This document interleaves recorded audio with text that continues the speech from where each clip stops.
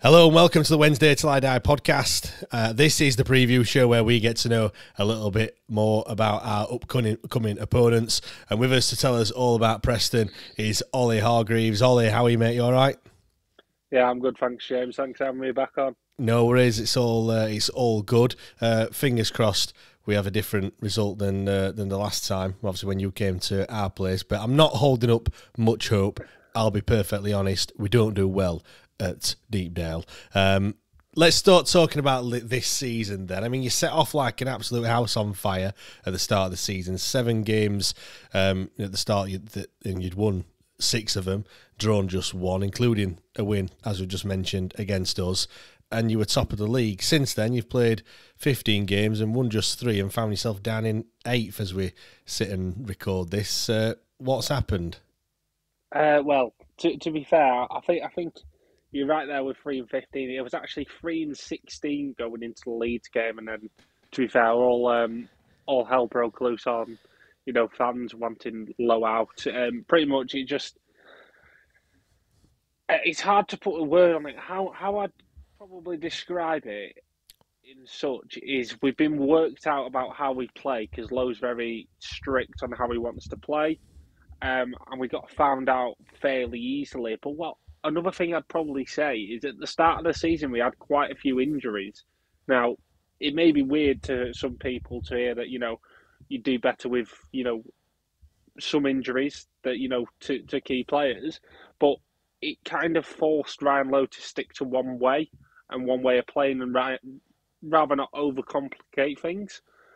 Um, and obviously, since everyone's come back fit, he's kind of probably overcomplicated a bit more and trying to play um, to the opposition's weaknesses rather than playing to our strengths.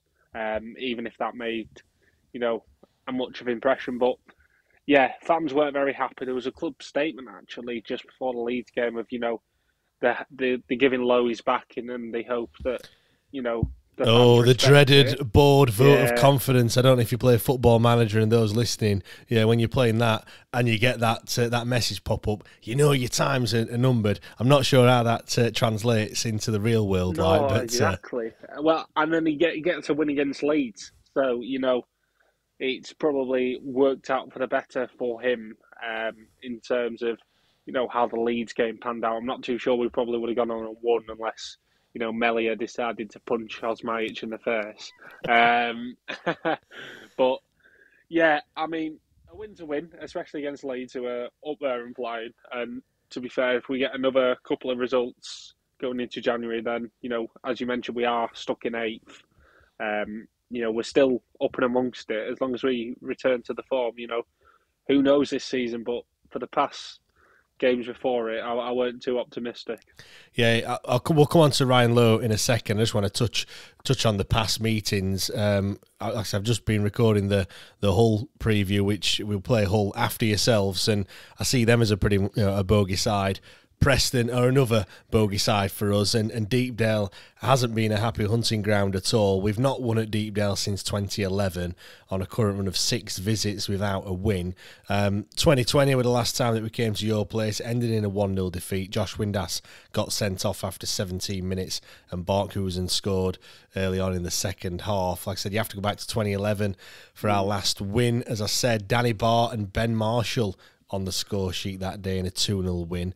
Up front for us that day, Mr. Ryan Lowe, your manager, of course. Um, kind of what, what a segue into talking uh, about him. Uh, you mentioned he's had the, the vote of confidence from uh, from the board.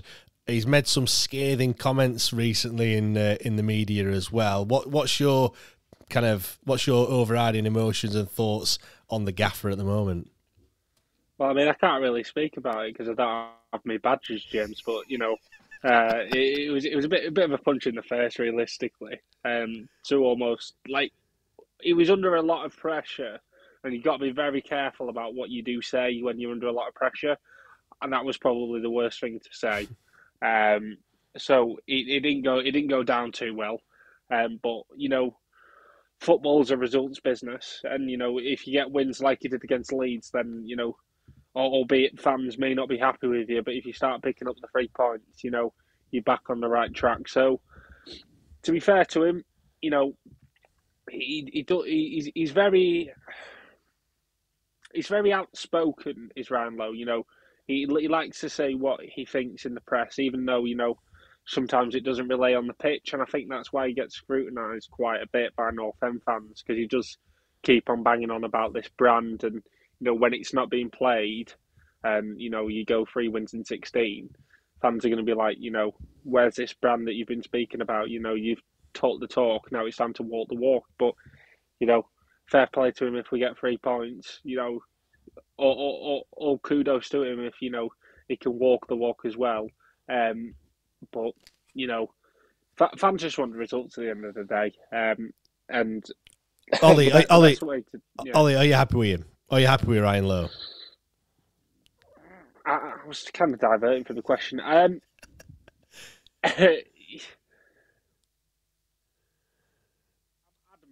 with him at the moment. Yeah, I'm adamant. Um, you know, we're stuck in eighth, you know, which is a great position to be, but a manager can't go three wins in 16 again because that's it's relegation form. So if results carry on the way that they were before, then no. But you know, the board's given the vote of confidence. You got to give him, you got to give him that, and just hope for uh, the best. But I'm adamant with him at the moment. Let's just see how it goes over the Christmas period. I want to, I want to talk style of play because Preston are the outlier and anomaly, I think, this season when you look at it, because you're well down there for all the kind of stats that everyone looks at to, to see for you know a team that's playing well. You know, possession less than fifty percent, completed passes. We've actually completed more than yourselves. Um, long passes, only Stoke have attempted more this season. XG, you're down in 22nd, uh, having you know had the, the second least shots in the league.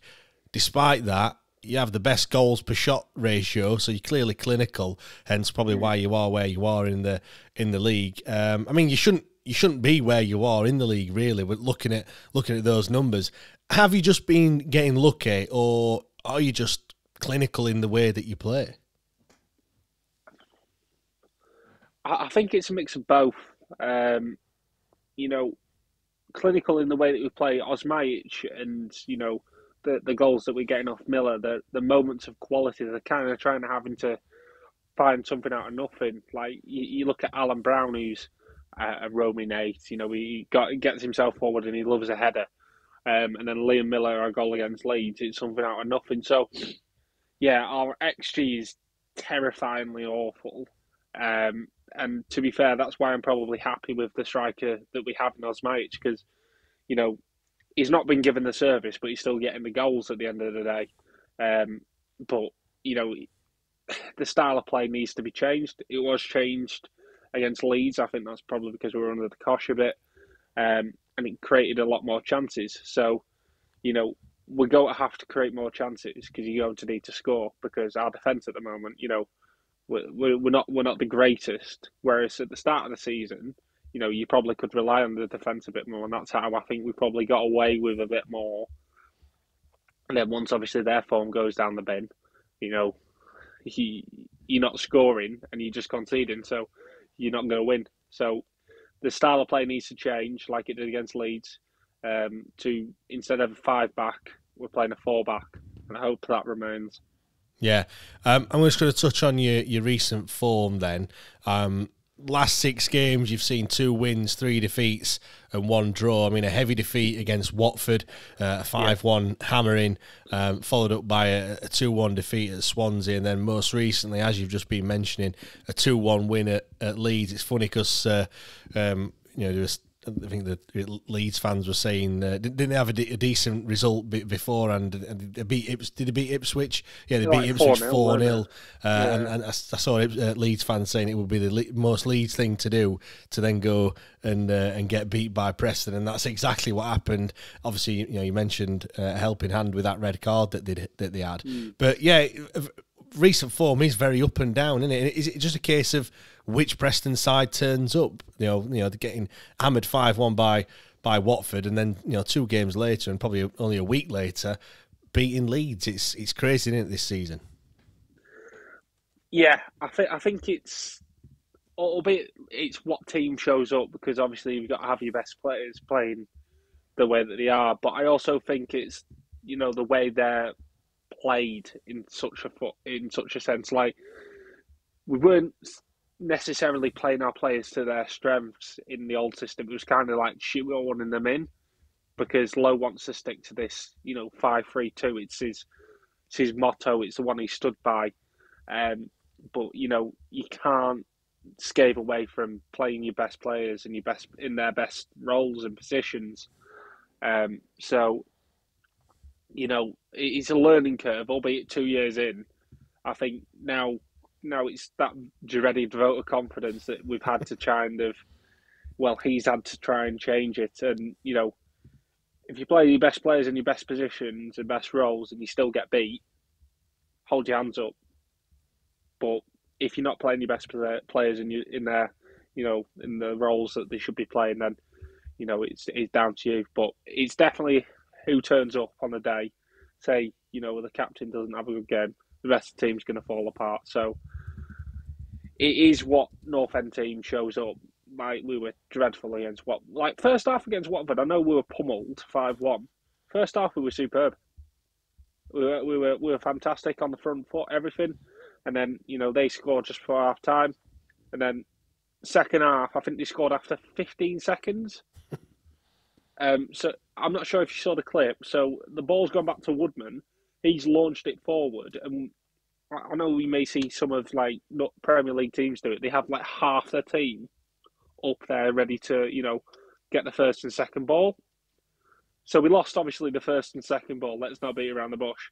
And they played the ball straight, straight ball over the top. And um, I can't remember his name. I think it's Martins. It's one on one with Liam Lindsay. Just knocks a ball past him, and then obviously slots it in the back of the net. And then at the end of the day, you, you're two one down. That's a proper log in the fire. So you know, it is what team shows up, um, and the confidence has to be there. Um, which, unfortunately for Wednesday fans, after a good win against Leeds and having the fans right behind them, it's probably not the best time to play us. Uh, I bet you were hoping it was before the Leeds game. Yeah, um, possibly. It's uh, although yeah, it's it's weird. Like I said, at Deepdale, we don't win there, so uh, that could be. It, you know, the, the five thousand Wednesdayites are probably going in more in hope rather than expectation. Uh, really, when it when it comes down to it. Let, let, Hoping let, one of our players punch yours again. Well, think that would yeah. uh, that would help. Although we had a bit of fisticuffs. Or, or, or, fight in between ourselves. I remember Hillsborough, Eoin Doyle and Jermaine Beckford getting sent off for fighting each other. That was fantastic. Yeah, that was uh, that was a comical uh, comical episode. That one. Um, although yeah. we we've had a red card ourselves at the at the end, right at the end of uh, the two 0 defeat against Coventry. So we're missing our defender for three games, which is not very helpful at all. Let's touch on the yeah, obviously, yeah, player that played for, for yourselves. I can remember you, you told us about him at the start of the season, and you said he's either he's either all right or really bad. And yeah, we, have seen that this season. He's yeah, um, he, he's he's either like he can either pocket the best striker in the league, or he can get absolutely destroyed. There's no in between. There's no consistency. It's just whatever Bambo shows up. Yeah, and um, he can't play football. I think is what we found. He's, he's a header and he's a kicker. Ball at his feet, I can I can hear his brain thinking. Uh, I can hear the cogs whirring. It's that it's that bad. Uh, but no, he's not going to be playing uh, tomorrow, so we're uh, we're spared his blushes on that one. Maybe he thought, you know what, I don't want to play Preston, so I'll just get myself sent off right at the end of the game. But uh, anyway, right in terms of your players to watch, then you have mentioned um, one of them already, Alan Alan Browne. He's uh, he's your highest rated player on on WhoScored so far this season he, as you mentioned, he's pitched up with four goals. He's got two assists to his name as well. Pretty much played in nearly every single game for, for Preston so far this season. Plays in just behind the just behind the striker, or that's where he certainly played uh, against Leeds. Anyway, what can you tell us about him? Yeah, it's it's been um, obviously Alan Browne's a legend of North End. He's you know been with it, been with us practically his whole career. Well, besides you know two games in Ireland. Um, and he's always been shoehorned into midfield. And the last couple of seasons, you know, he's probably played a bit further back than he wanted to. Um, he's now back thriving in his advanced role in, you know, where he can roam around just behind the striker. Um, he's vital. He's vital to the club. He's vital to the fans. He's vital probably to the city. Um, I can't. I, I can't speak highly enough on Alan Browne how he's been this season. You know, he's a complete workhorse, um, he's he's just the right player at the right time, and I don't know how to explain it.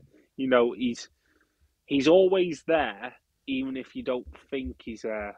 Like even even if you know the game's just passing by, Alan Browne's always in the thick of it, and I think that's what makes him a great captain. Um, and yeah, he's having the best season he has for quite quite a couple of seasons. When I think his best season was under Alex Neil, where he scored about eleven goals. Um, so you know, I, I don't think we're near the halfway point yet, but the way he carries on, he could he could get close to matching it. Yeah, uh, the other one that I've picked out, he's not played in the last two games, but he's your leading goal scorer, Will Keane.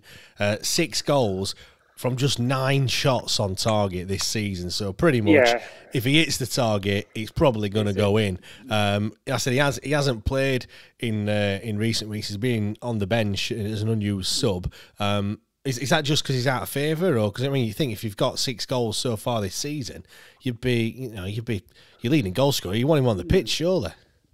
Well, going back to the Swansea game, um, which is one we lost two one. Um, I'm actually quite shocked that he didn't play because he was two and two before that, um, and he didn't play him. And I was a bit like, you know, why would you drop a striker that scored two and two? But hey ho! And then obviously after that loss, there was a vote of confidence, and we've had to revert to a four-three-three to try and play our best players to our best strengths. Now, Will Keane isn't a sole striker. He he probably prefers to play as a second striker uh, and play as a two. Um, so it's kind of like the formation isn't suited to him in the past couple of games, and that's why he's probably been left out. And I'm not going to beat around the bush. We're not going to drop Alan Browne uh, from roaming behind the striker for Will Keane at the moment because um, I think Browne's undroppable. So I think Keane finds himself in a situation where, you know, the formation probably it doesn't suit him. It did at the start of the season when we were, you know, doing a three-five-two. But if we're going to stick to a one-striker formation, you know, you're probably going to want someone who's not wanting to be a second striker and wanting to, you know, drop into midfield. You're wanting someone up there on the on the back line, the defender, getting in behind and hopefully, you know, getting shots off on target. But, you know, I think it's just a bit unfortunate for Will Keane at the moment, and you know, I think he'll be a great squad player off the bench. And technically, to be fair, you probably could start him. Uh, it just at the moment, I think Lowe's just trying to work it out, and he's going to stick to Osmajic, who can get him behind as a sole striker at the moment. Yeah, obviously, Will Keane, who, who played for us briefly, 12, 13 games back in 2015. I think we, signed him in January, and he uh, bagged a couple of goals, but didn't really uh, didn't really hit it off for us. But I, say that was seven or eight eight years ago now. Um, go then ahead of ahead of our game tomorrow. Then, uh, what what's your thoughts on us? Because obviously, when you played us last time, this the season had uh, had only just kind of got going. Uh, mm. Obviously, absolute nutcase of a manager in Xisco Munoz, but he's now gone, and we've got Danny Röhl, who uh, you know he's, he's, he's already firmly got his feet under the table, and you know we absolutely love him as as uh, as fans, which is mental when you're looking. You know the gap is actually three points worse than than it was when he actually uh, came in. But but yeah, what what's your thoughts on us from the outside looking in? Yeah, you've. I mean, obviously under Xisco, and I know you mentioned it, you know, Hillsborough on Wednesday, they do have great fans, but once you're not behind the team and you have so many fans that are against you, they're, they're, they're quite a big confidence side Wednesday. Um, and I feel like if the fans aren't, you know, behind the gaffer and behind the manager, you're not you're not going to get anywhere. And obviously under Danny Röhl, he's you know brought that back. You know, he's given I think it's Masaba a chance, who's obviously seems to be doing decent for you already. Um, so yeah. you know, once the confidence is back and you got you got the fans back in, gives a lot of confidence to the players, and you know, I, I remember saying to you at the start, this, I think before our game, uh, you were mentioning, I think you were mentioning that you don't believe you're going to stay up. And I was very optimistic about you being there and abouts because, you know, Wednesday are a big confidence side. And once you hit the stride, you'll be able to get somewhere. You like North End at the end of the day, you know. If you struck, we're not teams that have, you know, the greatest players in the leagues. So you need a lot of fans backing to be able to, you know, get to where you want to be. So I think you'll stay up. I still believe that.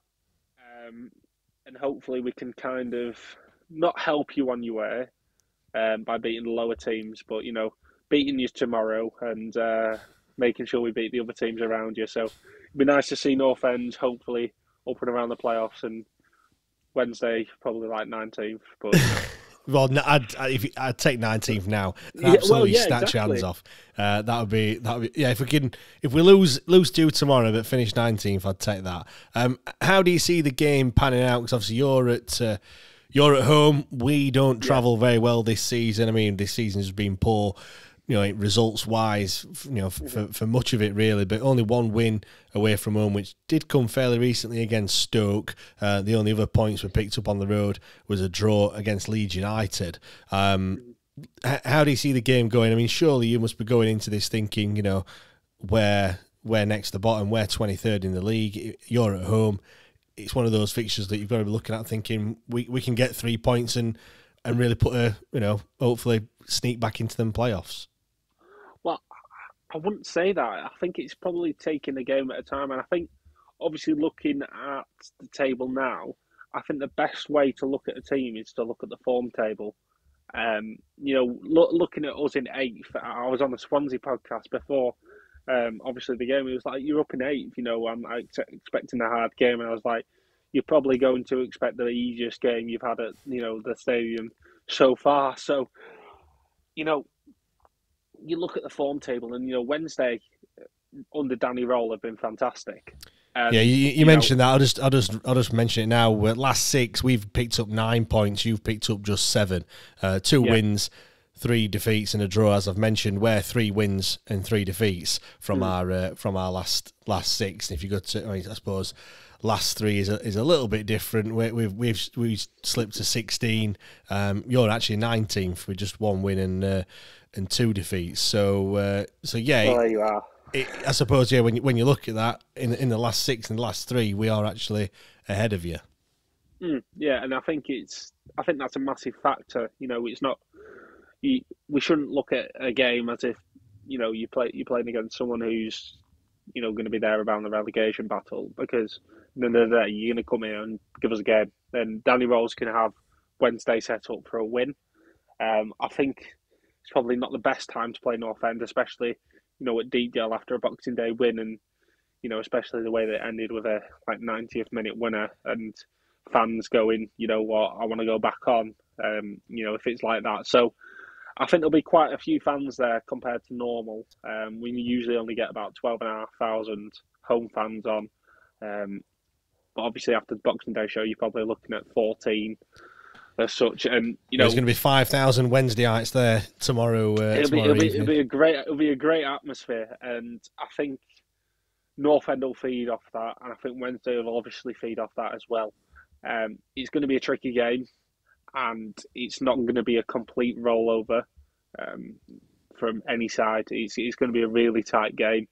I can't see any see any team, you know, going going there and blowing the socks off someone else. I mean, I'd love us to, but I, I, I just can't see it at the moment, especially with the way that Wednesday and Danny Röhl's got them playing. But at the same time, now after the game of Boxing Day, if we didn't play Leeds and didn't have a fantastic win, I'd probably say you would come and do us 2 0 or so. But we're a massive confidence side. You know, getting three points against Leeds is huge. And if you play the system we did against Leeds, you know, it's going to be a really, really good game to watch. I hope you're right anyway, Ollie, because uh, yeah, it's that's what you want at the end of the day. You you want a good game of football. You don't want two teams just cancelling each other out. You want it to be end to end, um, and obviously your team coming out on top at the end. Um, go on then, before I nail you down to a score prediction, Ollie. uh, where can we find you on all the socials and uh, and, and, what's the mm-hmm. podcast called? Yeah, so um, obviously at Ali Hargreaves on uh, Twitter, and then obviously the Butter Pie podcast on on Twitter as well, and uh, Spotify, Apple Music, and all your uh, good streaming sites. Great stuff. Uh, go on then, Ollie. Give us a prediction. I mean, you can, you can have two if you want. You can go with your head in your heart because you know most people like to predict obviously a, a, a dominant win, of course, but sometimes that's not always the case. No, you know what? My head and my heart are saying the same thing, um, and it is two one North End. Uh, it's going to be a real tight affair. Uh, I think it. I think it'll go down to the wire. I think I think there'll be a late, uh, not not late last minute winner like it was again, but I think it'll be quite late on in the game. I think it'll be really tight, and then, you know, for me, I hope it goes North End's way, but it could go Wednesday's way. Um, I can just see a late winner coming from somewhere. I hope it's North End, and hopefully a little bit of Liam Millar magic like it was, it was before because he's up there with the best wingers in the league. So I hope you've got a good wing, but good, uh, good fullbacks ready for uh, a tough game pass on that one. I'll uh, I, I, decline to comment. um, but yeah, you mentioned late goals. We we have scored late goals in recent mm-hmm. weeks or the last yeah. couple of games. We've been on the receiving end of them. But tonight it should be uh, it should be a great game. Looking forward to it as well. Ollie, all the best for uh, for the rest of the season. Fingers crossed we get three points tomorrow though, um, and uh, and all the best for 2024 as well. Well, yeah, I, I hope it's three points to North End, but I hope I speak to you next season. Fingers crossed. Great stuff, Ollie. Cheers, mate. No problem. Cheers.